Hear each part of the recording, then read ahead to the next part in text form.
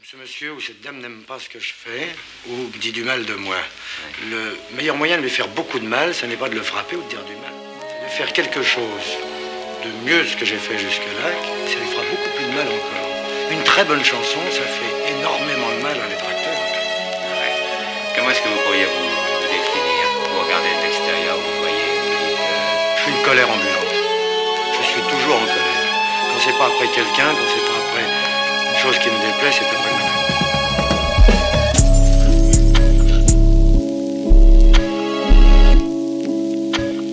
La matrice, Lucas.